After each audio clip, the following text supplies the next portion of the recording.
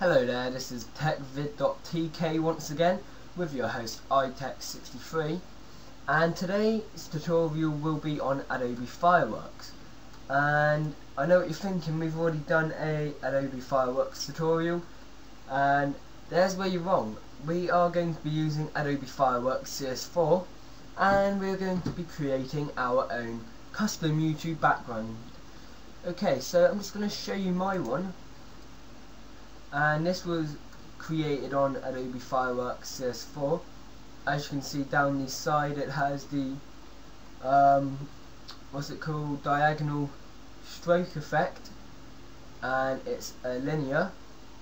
And I love this background bit what I made. And up here it has like a granite effect. And if you scroll down it just fades out into black with all my other details.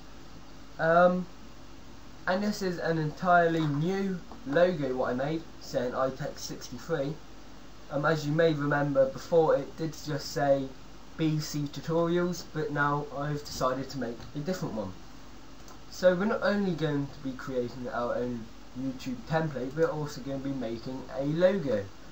Okay so open up Fireworks CS4 or you can email me if you haven't got CS4 email me and I will send you the link with all the with a lot of codes.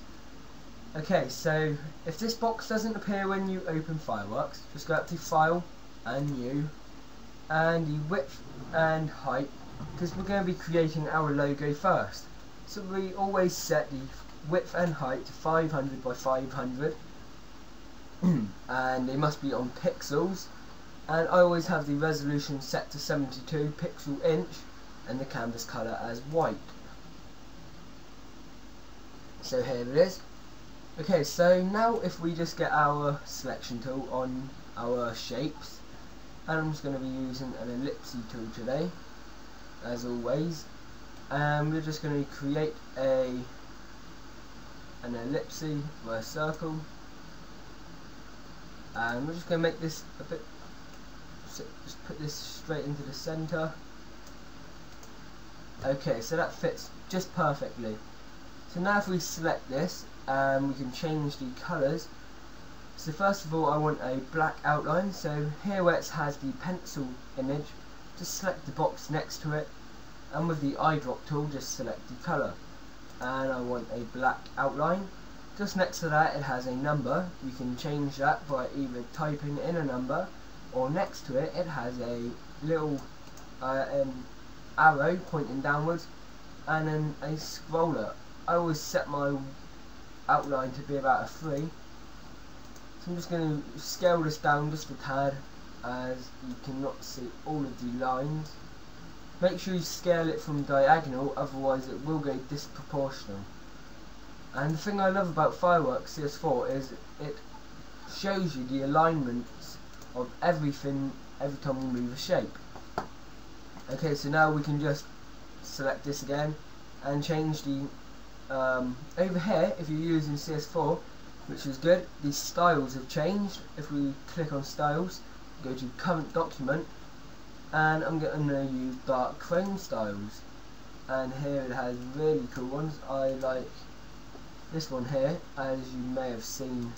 This is the effect I use for the background. The one I use for my logo though is on, I think, Chrome Styles, is it? It's around this somewhere. Um, it could be Plastic Styles. No. Oh, this one's also quite cool. I also like the red one on the Plastic Styles. It's four for long. This one's alright if you're using red um, uh, diagonal styles. And this is the one I use for my logo. Or this one. Actually I think it's this one here. Let's just have one look. Yes it looks like it is this one here. As you, can, you may not be able to see it. Um, so I'll just zoom in. As you can see the um, these dots are ve very close together. So if we just copy this now by pressing Ctrl C on our keyboard and pressing Control V to paste it. And now press Q on our keyboard or go up to the scale tool over here. And just scale it down just a little bit. Remember go from the corner as it doesn't disproportionate disproportionate. And we're going to change the outline to a black again. And we're going to change the colour to a plastic style um, if I can see a plastic style. And I'm going to use this red this time. And yes that fits just about right. And now since we've copied it we can paste it in again. So as you can see it always goes to the top layer. And we're just going to select this and press Q on our keyboard to get the selection the scale tool up. Scale it down just a bit more than it was the set the first scale down.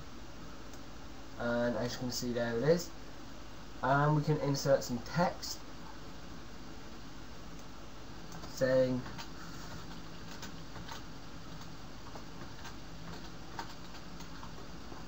um, you can't see this at the moment as it's a oh maybe you can.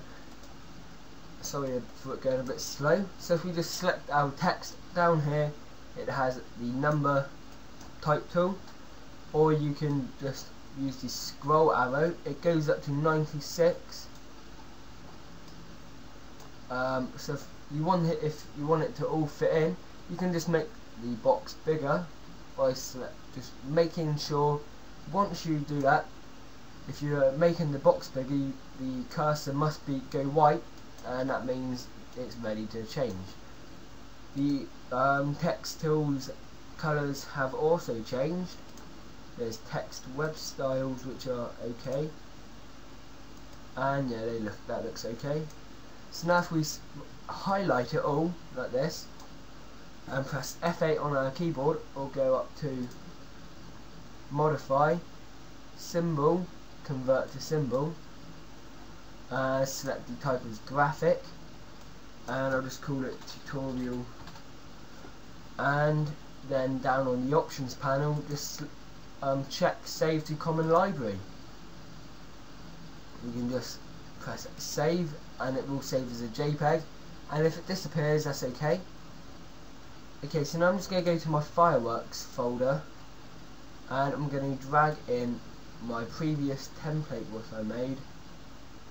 Um, my previous background as this is the perfect size wait one second no I don't want to save this so you have to close that. Drag in your template which will be in the description. Or if you've watched my previous tutorial on this from CS3 I think the background image may be on there. So now as you can see it's too big you can't see it all. So just go up to view and fit all or press control 0 on your keyboard.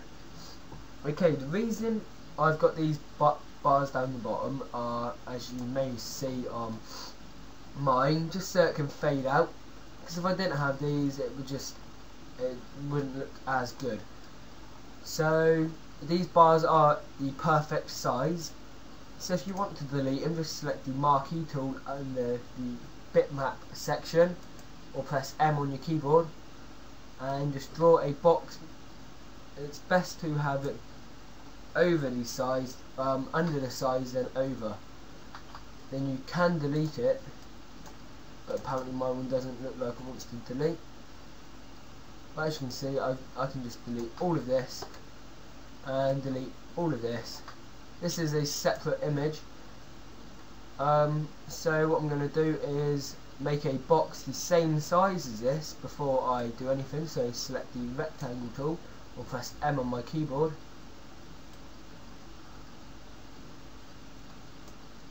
like this. And if I just send this to back right click and go to arrange send to back or press control shift and down on your keyboard. And now we can just delete this front image.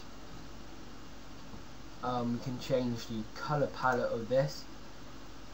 And we could have it anyone we wish. I'm going to have it in wood styles I think. See what this looks like. I've never actually seen properly the wood styles